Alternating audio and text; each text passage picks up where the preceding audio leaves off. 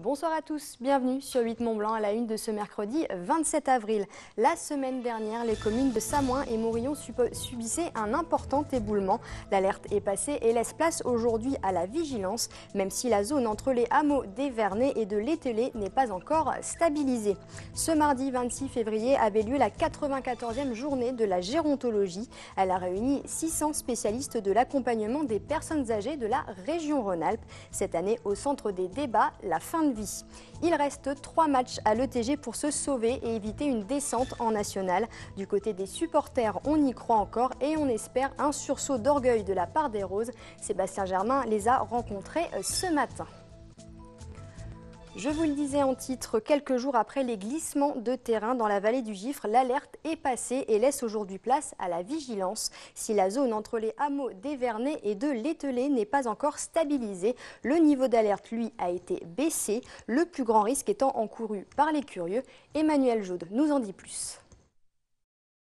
L'hiver doux, les fortes pluies ainsi que les récentes secousses ressenties ces derniers jours sont très probablement les éléments déclencheurs du glissement de terrain impressionnant entre Samoa et Morillon.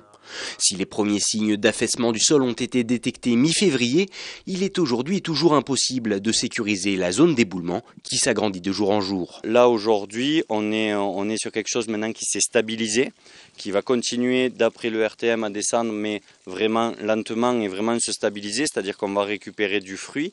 Donc sur la chute de terre en elle-même, pour les maisons en contrebas, on n'a pas de réel risque et si même ça tombe en bas, on aura le temps de déployer les secours et les engins pour, euh, pour, euh, pour évacuer tous les risques possibles et imaginables. Pourtant, aujourd'hui, le seul véritable danger concerne bel et bien promeneurs et curieux voulant trop s'approcher du gouffre. Car, mis à part l'habitation située sur la zone même de l'éboulement, le risque reste faible.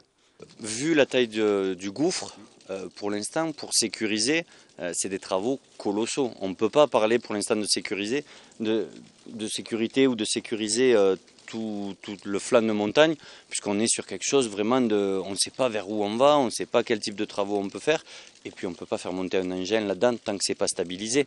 Donc là-dessus, pour l'instant, on, on est obligé d'attendre et on ne peut rien prévoir pour, pour maintenant. Quoi. Il faudra donc encore attendre que l'angle de la pente, pour l'instant presque vertical, s'aplanisse jusqu'à près de 30 degrés. Un travail réalisé par la nature et qui va beaucoup dépendre de la météo des prochains mois. Les chiffres du chômage du mois de mars sont tombés mercredi soir et ils sont positifs. La Haute-Savoie voit son nombre de chômeurs baisser d'1,6%, soit 610 demandeurs d'emploi en moins. Le nombre de chômeurs inscrits en catégorie A s'élève désormais à 37 960. À noter qu'en Savoie, la baisse est conséquente avec 2,6% de chômeurs en moins. Ce mardi 26 février avait lieu la 94e journée de gérontologie. Elle a rassemblé 600 spécialistes de l'accompagnement des personnes âgées dans la région Rhône-Alpes. Cette année, au centre des contributions et des débats, la fin de vie, quatre mois après l'adoption par le Parlement de la nouvelle loi clé Leonetti, Jean-Paul Crespi.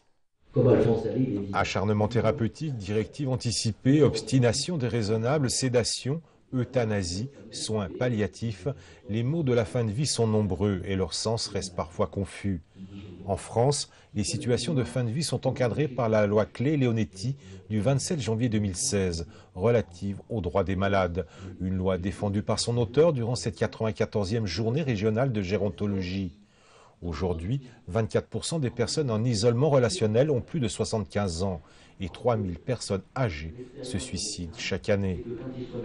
On peut mourir seul parce que le sentiment de solitude, c'est un sentiment d'être unique. Ça, c'est clair. la difficulté, c'est de mourir euh, dans l'ignorance, euh, euh, dans, dans, l'isolement plus que la solitude, c'est-à-dire être dans l'absence et l'indifférence de l'environnement. Et en même temps, c'est très compliqué d'anticiper parce que parler de la mort d'une personne, même si elle est destinée à mourir à très court terme, parler de sa mort, c'est déjà presque un peu la programmer.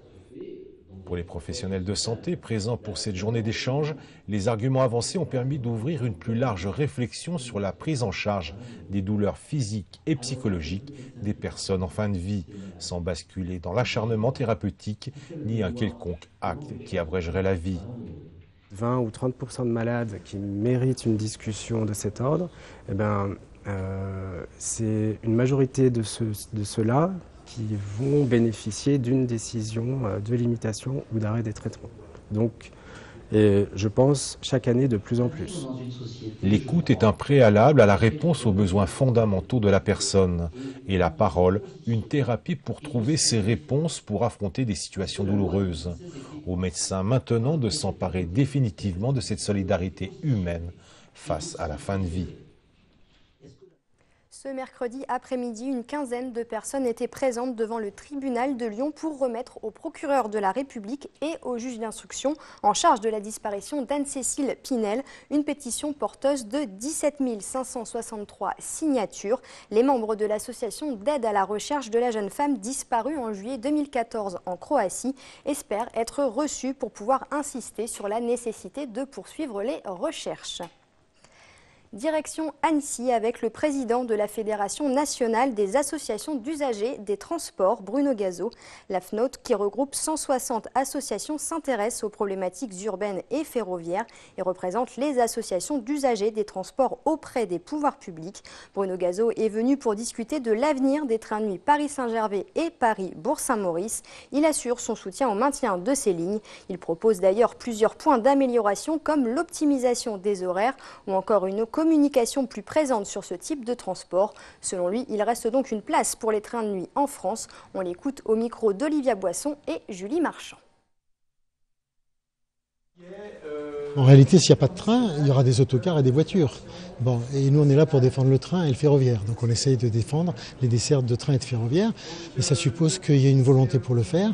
Ça suppose qu'on facilite la vie des usagers. C'est-à-dire qu'il y ait des bonnes correspondances euh, entre le TGV et les trains euh, TER. Ça suppose que les trains intercités soient ponctuels et fiables. Ça suppose qu'il y ait une, organisation tarifaire et billettique soit compatible avec euh, ce que les gens sont prêts à payer et ce pourquoi ils prennent le car et le train, c'est-à-dire en fait des tarifs plus, plus modestes que les tarifs ferroviaires TGV. Donc voilà toutes les conditions. Mais pour le reste, euh, on observe que quand ces conditions sont remplies, il y a un marché pour, euh, pour ces trains-là. Il y en a aujourd'hui pour les cars de nuit et on ne voit pas pourquoi il n'y en aurait pas pour les trains de nuit. On attend des opérateurs qui fassent preuve d'innovation et qu'ils aillent chercher les clients et qui répondent aux besoins des clients. Mais aujourd'hui, il y a un besoin de mobilité qui est prouvé, il existe. Deuxième épisode de notre série consacrée au théâtre de marionnettes de Genève. Jean-Paul Crespi poursuit sa découverte de ce lieu atypique. Il a aujourd'hui essayé de comprendre qui se cachait derrière ces drôles de personnages articulés. Le marionnettiste est un manipulateur, souvent à vue des spectateurs. Il est formé comme un acteur intégrant les notions de distanciation ou de délégation à un objet de certaines intentions du personnage, en plus d'une recherche d'excellence en manipulation. Oui, je suis amoureux pour toujours. Oui, il faut aimer, sinon on ne va pas arriver de, de faire le spectateur croire que la marionnette euh, vit vraiment et que c'est le personnage qu'on propose. Aujourd'hui, le marionnettiste pratique le langage de la vidéo, de la danse, de la musique pour mieux intégrer la dramaturgie de tous les arts dans son spectacle. Qui manipule qui? Alors, euh, c'est bien de jouer comme ça, pourquoi pas? Évidemment qu'on est conduit par les marionnettes dans la vie avec l'âme, avec le cœur, en croyant connaître bien le personnage que la marionnette doit occuper et en croyant dans les possibilités de cette marionnette, qu'elle peut s'exprimer, qu'elle peut vivre, évidemment, avec notre aide, avec notre participation.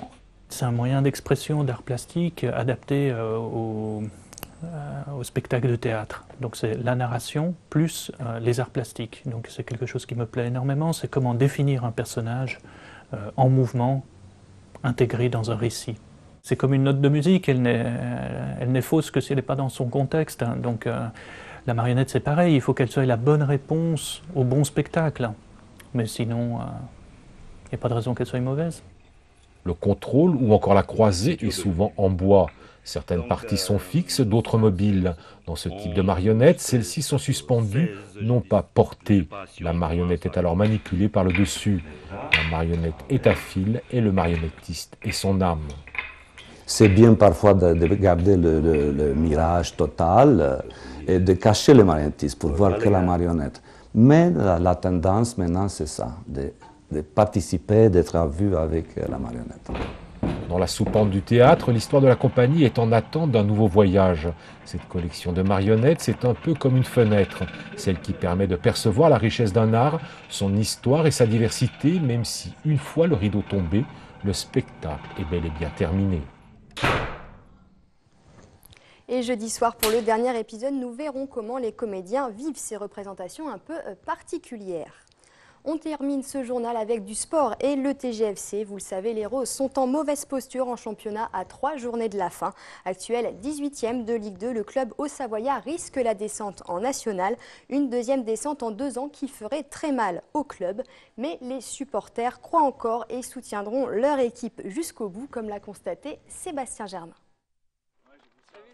L'accolade est sincère et les échanges toujours cordiaux. Aujourd'hui, certains supporters de l'ETGFC font partie de la famille rose. Qu'importe les résultats, ils sont une poignée chaque jour à assister aux entraînements, fidèles au poste. L'amour de ce club, moi je l'ai pris il y a 10 ans en arrière et que ce soit qui résultat ou pas résultat, j'ai toujours été présent. Euh, je pense que le vrai supporter, c'est un peu son but, c'est surtout pousser l'équipe quand elle a besoin de, ses supporters. Il y a de l'humain, il, y a des joueurs, il y a un staff, il y a, des, des, gens qui sont impliqués, euh, les joueurs ils sont proches euh, des supporters quand on est là, euh, ça reste un club à échelle humaine, donc forcément c'est plus facile de s'impliquer quand on a affaire aux joueurs et que c'est pas à 10 mètres d'eux en faisant des coucous de loin. Quoi. Vendredi dernier contre le Havre, ils étaient un peu plus nombreux qu'à l'accoutumée au Parc des Sports d'Annecy.